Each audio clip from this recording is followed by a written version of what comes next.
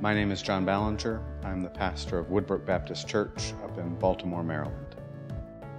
I grew up in MK, a missionary kid, um, and so uh, that's always been kind of the whole of my understanding of everything. uh, we lived where we did. We went to the schools we did because that's that's who we were. That's what mom and dad did.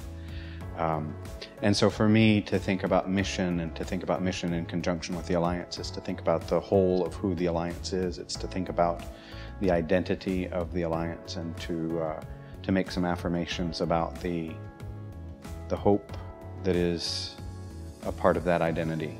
Um, it, it's not just what we do, um, but something about who we are is linked to a hope uh, and the possibility of a better tomorrow.